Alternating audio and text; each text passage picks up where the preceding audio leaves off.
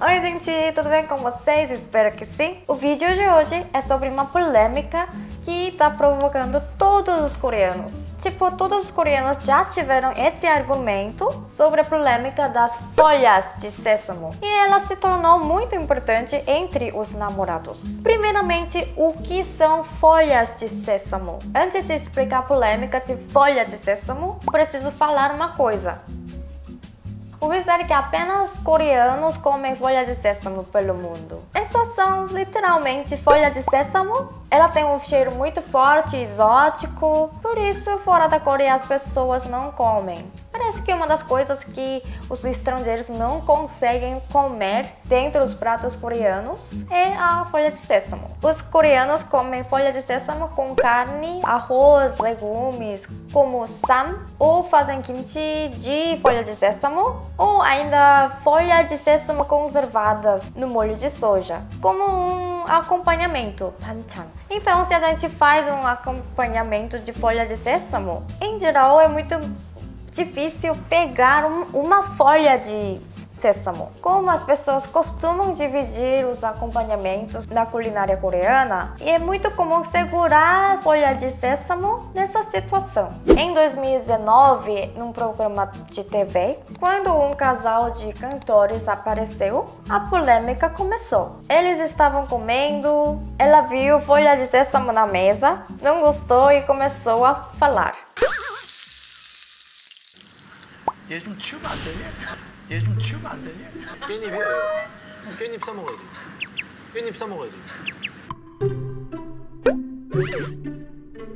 Uma vez, quando eles estavam jantando com uma amiga dele, o rapaz segurou a folha de sésamo para ela, né? Porque ela estava com dificuldade de pegar. Então a esposa ficou muito brava porque ela achou que ele estava tendo muito cuidado com a essa moça. Porém, o marido não entendeu porque ela estava reclamando tanto só por causa de folha de sésamo, sabe? Acho que essa polêmica ganhou muita popularidade na Coreia porque cada pessoa defende um ponto de vista diferente. Não existe uma opinião principal. A metade dos coreanos acha que a moça tem razão de ficar brava e a outra metade acha que a atitude do rapaz é muito normal. Isso pode acontecer. As pessoas que acham que ela pode reclamar falando: ele pode ajudar, mas eu não gostei. Ele precisa fazer isso mesmo que eu não goste. Outras pessoas podem falar assim: isso só mostra que ele tem boas maneiras à mesa. Isso é uma questão de educação. Segurar a folha de sésamo não significa nada. O que vocês acham? Eu acho que seria um pouco difícil os brasileiros imaginarem essa situação, mas em todos os lugares tem regra ou algum limite do que um casal de namorados pode ou não pode fazer entre si, né? Eu pessoalmente não me importo. Na verdade, se eu começasse algo com meu marido e a minha amiga e ele a ajudasse, é, eu acharia que ele é bonzinho e teria orgulho dele.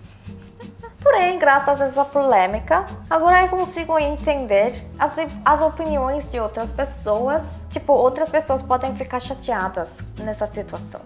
Tem outra polêmica parecida com essa polêmica de folhas de sésamo, polêmica do camarão. Aqui na Coreia, as pessoas comem camarões asados, normalmente nos restaurantes na praia. Então vamos supor que eu, meu namorado e uma amiga minha vamos comer camarões na praia. Se meu marido descascasse camarões para mim e para minha amiga, como eu me sentiria? Como na polêmica de folha de sésamo, as opiniões estão divididas. Algumas pessoas não podem aceitar que o namorado dela descasque camarões para outra mulher, mas outras pessoas acham que isso é uma gestão muito bonito. Como esse tipo de polêmica está em alta, uma psiquiatra bem famosa aqui na Coreia explicou no vídeo da Vogue 아, 이 질문을 잘 해석해야 돼. falando sobre quatro pontos que faz muito sentido. Primeiro, ela acha que o tipo de comida é importante, porque alguns pratos realmente precisam de ajuda para comer. Segundo, a sequência dos fatos é importante. Se meu namorado ou meu marido me der o camarão primeiro, tudo bem. Terceiro, é muito melhor se ele perguntar: Posso fazer isso? O que você acha? Acho que essa ideia é muito boa. Eu realmente não ligo pra esse tipo de comportamento. Mas se eu perguntar pro meu namorado ou marido e ele não gostar ou concordar, eu não vou fazer, sabe?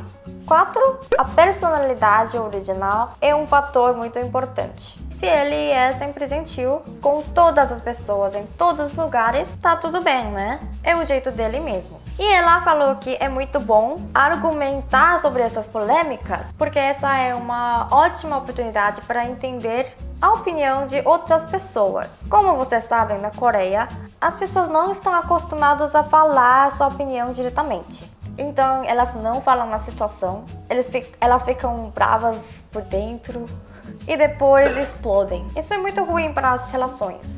Eu acho que isso é um bom movimento também, porque eu gosto muito de discutir e trocar ideias, mas por conta da verticalidade e coletivismo na sociedade, não existe aqui no Oriente esse tipo de hábito de discussão. É como no Ocidente. Então, gente, se vocês tiverem amigos coreanos, vocês podem perguntar.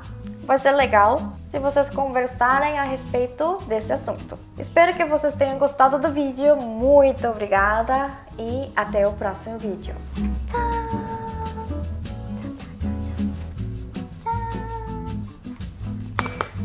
Oh! Oh!